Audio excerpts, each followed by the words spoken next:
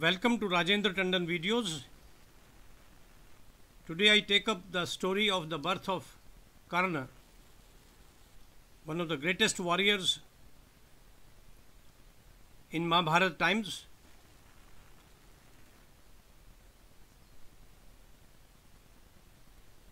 He was born to Kunti, who was the adopted daughter of the king Kunti Bhoj. She was in fact a sister to Vasudev, whose son Krishna is known to all of us.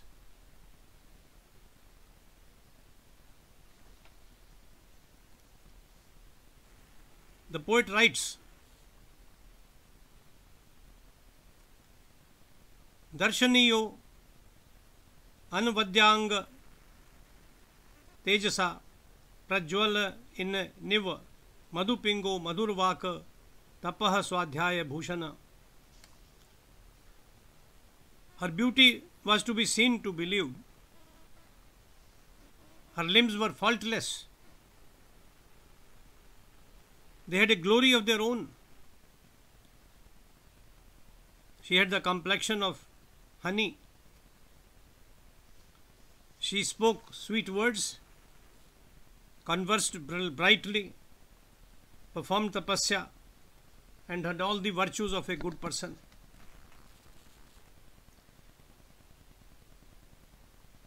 It so happened that Brahmarshi Durvasa landed at the door of Kunti Bhoj and asked him for a comfortable stay and a meal.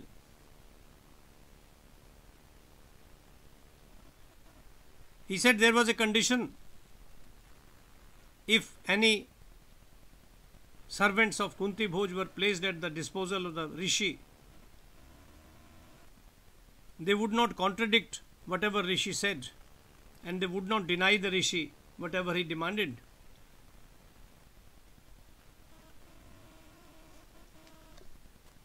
The king said, O wise man, I have a daughter by the name Pritha.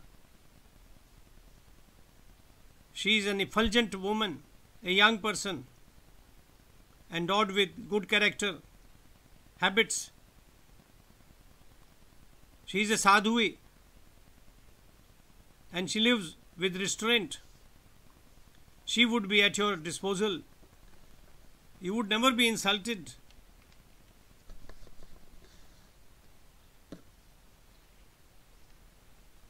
The king sent for Pritha, which was the name of Kunti, and told her that this great Brahmin wants to stay with us. I believe in you, in your competence, and I have accepted his desire to stay with us, and you would be placed at his service.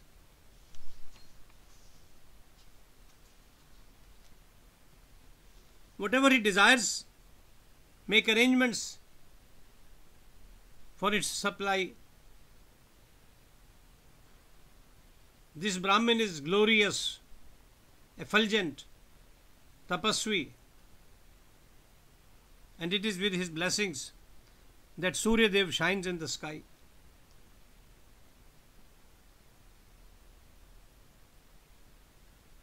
So saying,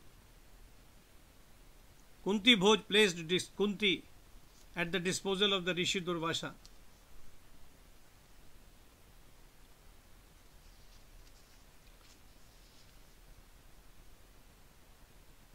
Kunti thereafter went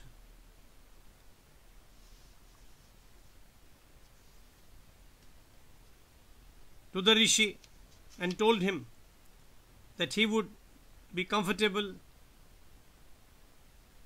at her service, that whatever he desired he should just transmit to her and his desire would be fulfilled.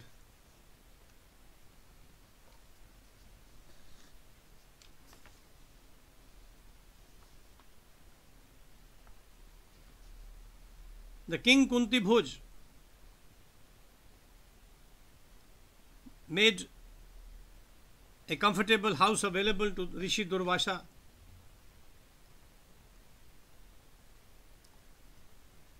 It was shining like the Hansa flower uh, bird. It had the glow of the moonbeams. Arrangements were made for good, sumptuous, and delicious food for the rishi. The rishi was so delighted with Kunti's service that he wanted to give her, bless her with a boon.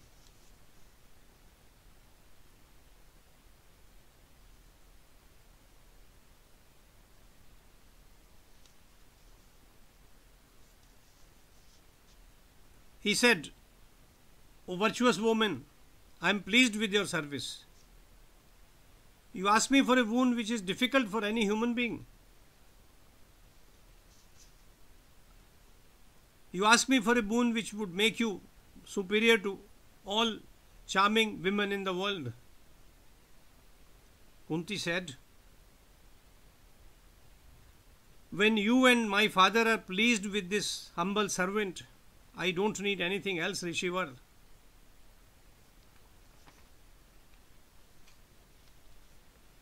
Durvasha said, Okay, you don't want a boon, but I'll give you some mantras with the help of which,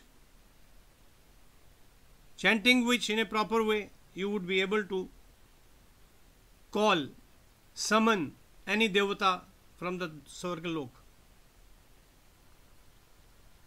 And the devata who comes would be humble before you, would obey your commands.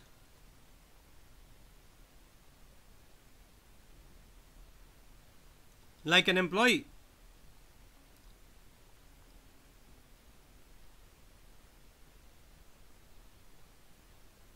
Kunti agreed to this. She got the mantra, and one day she, thought, is it just a, a joke which the Rishi Durvasa had played upon me? Let me try. She was growing up. She had started menstruation. She was shy of her body, which was blooming. One day, while lying on her bed, an expensive bed, the writer writes here, बहुमूल्य पलंग पर लेटी हुई थी She looked at the eastern sky, saw the sunrise.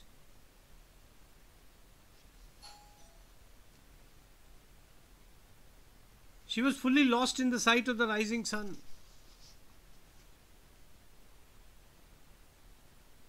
She fell in love with the sight, with the sun god, and she tried that mantra which Durvasa had given her.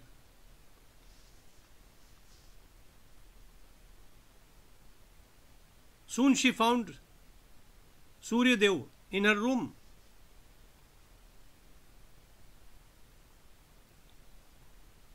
He had the complexion of honey. His limbs were tall, the arms were long. His neck was like a conch, and he looked as if he was smiling. Bracelets were tied around his arms, and he had a crown on his head. His light was illuminating all the four directions. Addressing Kunti, he said, Look, I have been compelled to come here because of your mantra. I would be like a slave to you. Tell me what can I do for you? Kunti replied, Devata, you are welcome, be my guest, but I just tried whether the mantra was effective or not. I can't go any further beyond this and I do not want anything from you.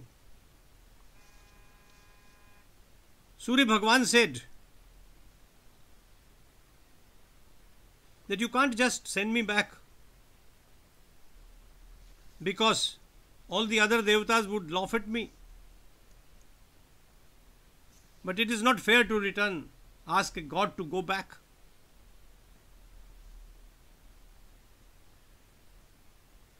I know in your mind you wanted a son like me, valorous, powerful, who is born with celestial armor and earrings. Therefore, a woman who can walk like an elephant, offer your body to me. And in that case, you would give birth to a son of your desires. I would go back after having made you pregnant. But if you don't agree to my demand, which is a result of your own mantra, then I would have to curse Maharshi Durvasa as well as your father. And when I curse anybody, he is burnt in the heat of my fire.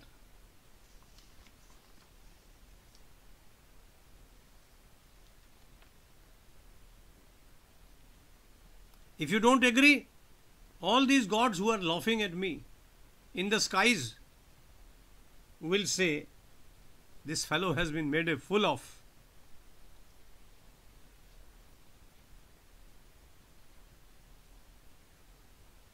Kunti said, oh, O Divakar, master of the rays, please go into your chariot. Go away, I am just a child. But Surya was not to be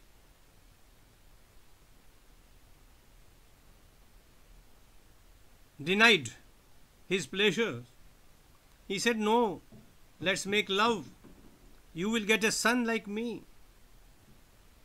You would be the most venerable and superior woman in the world for all times to come. There is no doubt about it.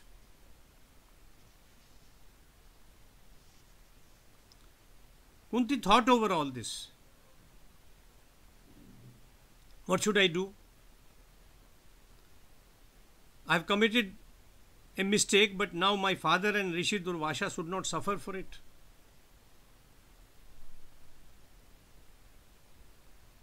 Even a child should keep away from these glorious devatas. I am afraid of Bhagwan Surya Dev. She, he wants me to give her, give my body to him. I'm so young and I'm not married to him. How would I sleep with him?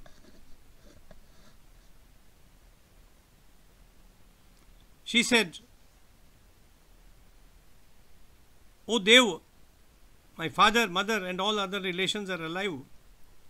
When they are living, how can I hand over my body to you?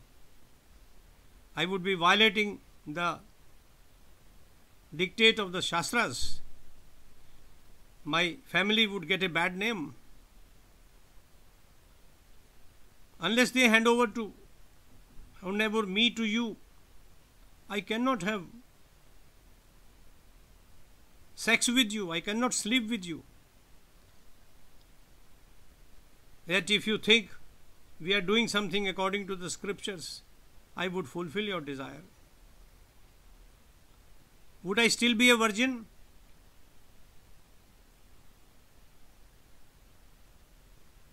Surya said, Nobody can stop you from doing this.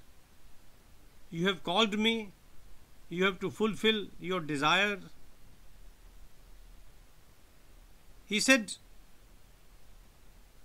The word come is a root in Sanskrit from that the word kanya comes in.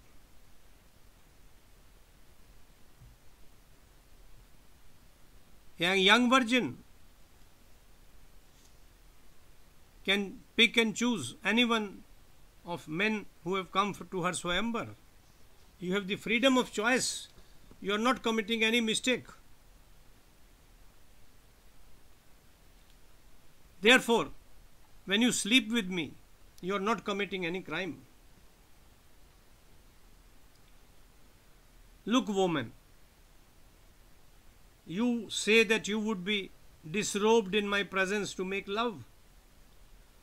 For me, the entire world is disrobed. I can see through anyone with my light, with my rays. I am so powerful. All the women, all the men are unclothed, are naked when I look at them. So if you have union with me, you would continue to be a kanya, a desirable creature, an object of lust.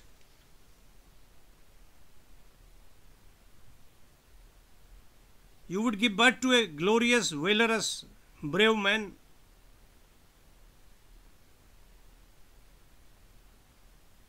Kunti said, I bow to you, Surya Dev.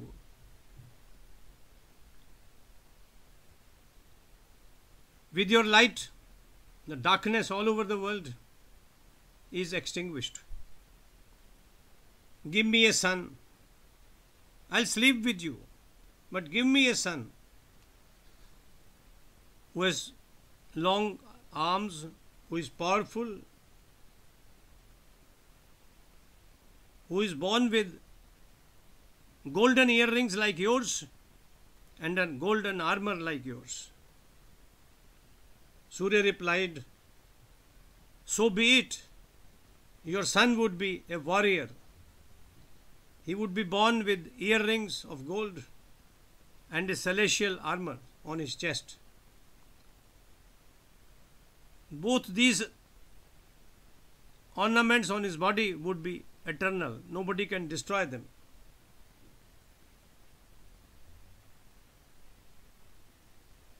Kunti said, Okay, we make love, but you come dressed as my son would be. He should have the same strength of body, same beauty as yours. He should be patient and he should follow his dharma. Surya replied, At this time, Kunti, you are impelled by your lust, impelled by your youth. You are just being timid. I shall give to your son the kundals, the earrings which my mother Aditi had given me, and I shall also bless him with an armor of gold. Kunti said, Now that you have agreed to my condition, I shall make love to you.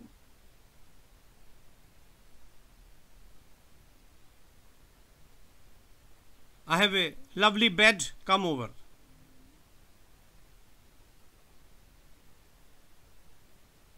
The author of Mahabharata writes here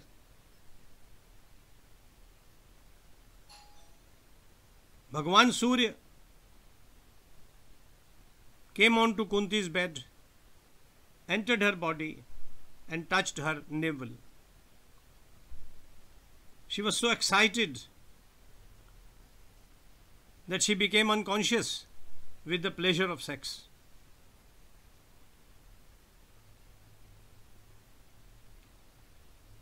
Semi conscious. He defines it. Surya said, Don't worry, you will not be hurt, and you would give birth to a son, a glorious son, who would be the bravest of all men on the face of this earth.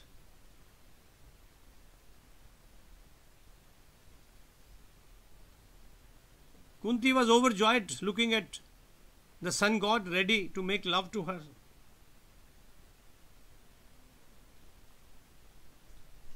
She was feeling shy as well.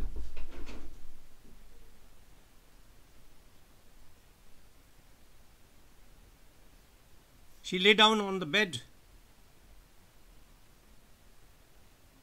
praying for his son, shy, overcome by lust. She lay down like a creeper which has been just cut from a tree, docile, soft. Surya Dev made her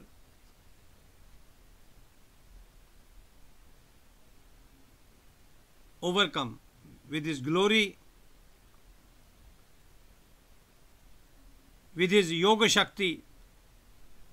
He entered her body and impregnated her. Kunti continued to be a virgin. Surya Bhagwan departed and Kunti became conscious.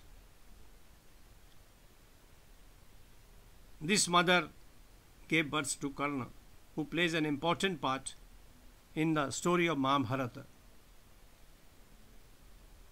Thank you for visiting this site and listening to me. We will meet again tomorrow.